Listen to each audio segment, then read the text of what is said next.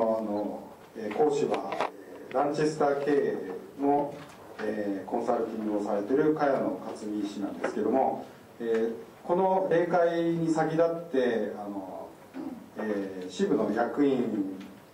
あの数名で茅野さんと2時間ほど事前にあの、まあ、プチコンサルじゃないですけどもあのお話をさせていただいて、まあ、すごくあのそのランチェスター経営っていうのはその、まあ、小さな会社が、えーまあ、大きな会社と、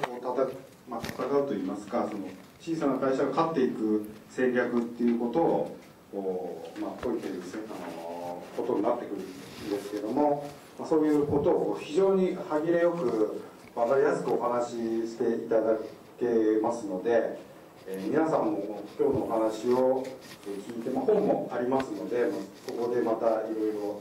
えー自社の戦略に生かしていければあの非常によろしいんではないかなと思います。でまあ、前置きはあんまり長くしちゃうと早く早くという目線がこちらに突き刺さってきますので、えーそれではあのお待ちかねの、えー、茅野克美先生よろしくお願いします。はい。拍手をいただければ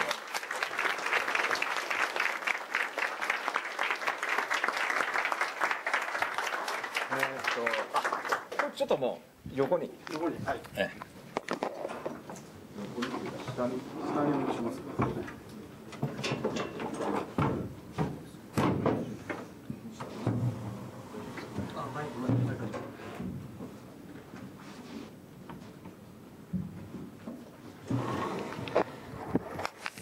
えー、そこおかしくはい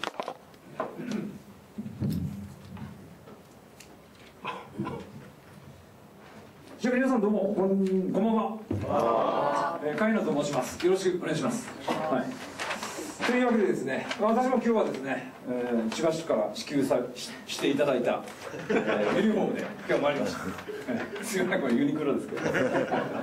意外にこれこれあのー去年か今年にユニクロの売ってたポロシャツなんですけどね。これ買ったっていう人色違いでも。あいるね結構ねまあでもまだ今までこのオレンジのやつと勝ち合ったことはないんですよね、はい、まあまあどうでもいいんですけど。あのまあ生き残る一つのコツはですねあれですよ、まあ、自分の商売は売らないといけない。ぼったくりで高く売らないといけないですけども自分が消費する場合はその日本経済のこと考えたらいろいろ買わないといけないですよね。だけど中小零細自営業がやっぱりですね私の師匠がずっと言ってるのはですね贅沢しない、ね、贅沢しない。質素。一昨日あのどこどこさんの、えーなんかテレビなんか見たっていう人。昔の林長のですね。まあちょっとねもう古い話ですけどね。日本の、まあ、すごい大統領よりも首相よりもすごかった。東芝えー、と石川島播島なんか監督のですね。まあすごい経営を大改革大成功させてで国のなんか鈴木首長と時ですかね。もう国の経営も任した。なんとかお願いしますみたいな感じで。なんですかねあれは林長っていう臨時なんとかがあんでまあよくわわ分かりませんけど国の。中曽根さんだと思います。うーんまあまあいいや、うん。まあ、テレビで言ってたのは鈴木さんでしたけどね。1987年8年ぐらいでしたけど国のまあ大改革をやった経営者みたいな感じですけどその人が出てましたけどもその人がものすごい人なのに実は生活はえらい貧乏な一戸建てで毎日目指しを食ってるってこれは本当の話だったんですよね。それぐらい国民を一致団結して、ね、その絞るとか絞って節約して倹約してで日本経済立て直そうみたいなですねことをやってた人がいましたけどまあ、ただ今考えたら1987年8年 え1987年8年って言ったらバブル真っ最中の頃やですよね、うん、だから今と比べたらそう大したことじゃないなみたいな思ったんですけど、えーただ、まあ、今日の午前中ですね実はあの勉強会ミニ勉強会させていただいてて、まあ、私も一緒に輪になって入ってやってたんですけどお手元のですね資料のですねうん123ページ目ですね。3ページ目ですね丸4っていうところですね右側にちょっと縮小のコピーがありますけど九州ベンチャー大学ですね。実はこれが私が約19年ですね1992年の11月からやっているこれまあ一人中小企業がどういう会みたいなことでしてね。毎回ここに書いてるような、えー企業経営者をですね招きましてなんであんた成功したんだと。もしくはね例えばラーメンプードの河原。お前が大名大英勤務時代に横領して逮捕されて牢屋に入ってたのになんで脱サラして大成功今みたいにラーメン100億、ね、ニューヨーク1店舗で今年商5億。シンガポールも2店舗香港も韓国も出して、まあ、大体潰れるパターンなんですけどねやりすぎでちょこもうちょっと笑ってほしいですけど。まあでも人生めちゃくちゃから大逆転してなんでそんな逆転できたんだ？学歴に何もなかった人間がみたいな話とか仏壇の長谷川ね、5坪の親父の店を引き継いでなんで上場200億まで持ってったんですかとか明太子の服屋、えーとかですねまあいろんなあ話をですね、えー聞く勉強会を実は個人で19年前からですねやってましてこれ始めた時は私サラリーマンだったんですよ。ただサラリーマンで、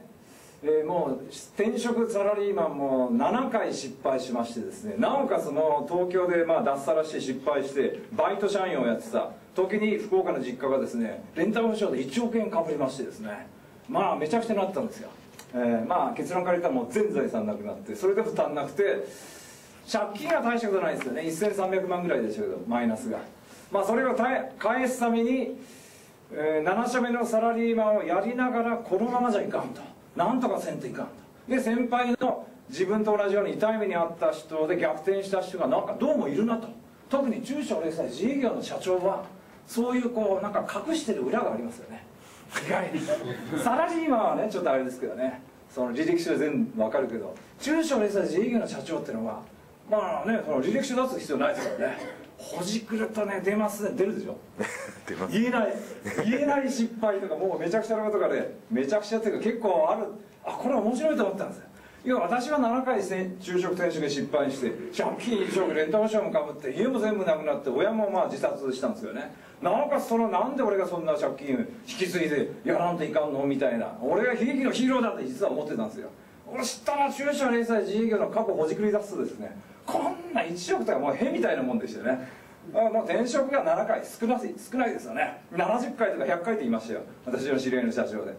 まあそんな目に遭いながらもあ逆転できるのが中小零細自営業。いや経営者の場合は学歴も過去も一切関係ないですからね。全部実力主義じゃないですか。あこれだと。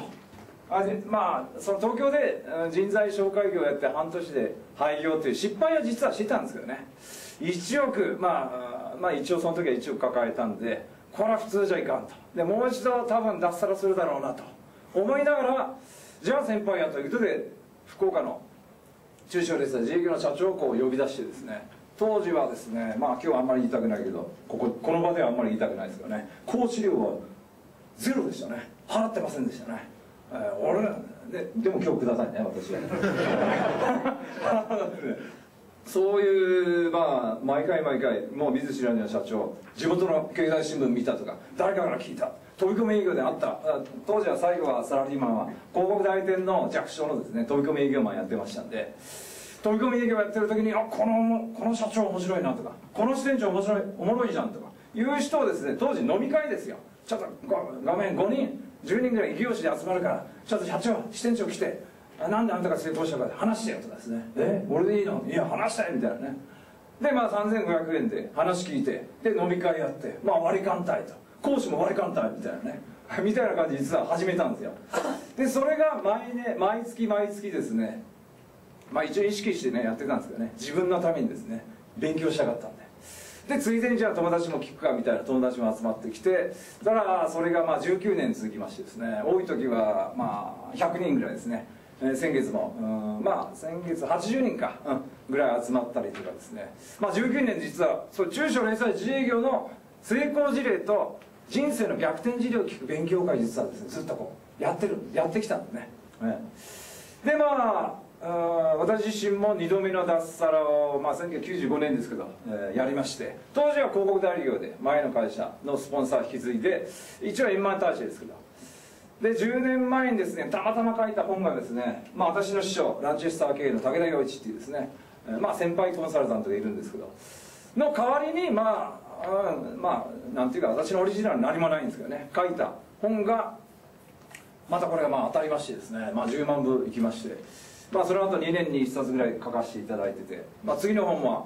えー、くたばれドラッカーというのが次の本で決まって 決まってましたね。いやそのドラッカーは素晴らしい。素晴らしいけど読んだことあるでしょドラッカー。えー、だから大体目次で寝たっていう人。もうあんなね分かるはずないんですよ。分かるはずないっていうかあの自分でもあの人は社会生態学者って言ってたぐらいで実は経営のことはほとんど書いてない。2割ぐらい。あとは社会一般のことなんか経営のこと言ってるのは従業員が何万人50万人とか GM とかあんな大企業のことばっかりで中小零細事業日本の場合、まあ、アメリカもそうなんですけどね10人以下なんですよ。ほとんどが。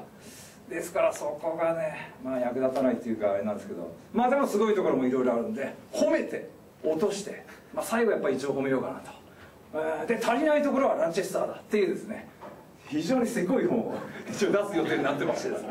でも出版社は喜んでてああもう2番煎じっていうか行きましょうと。まだドラッカー売れてるから。でもドラッカーを叩いた本はない。ドラッカーの欠点をちゃんと指摘した本はないと。それはもう萱野さんと武田先生しかいません。そんなのは書ける人みたいなね。そう多分そうでしょうね。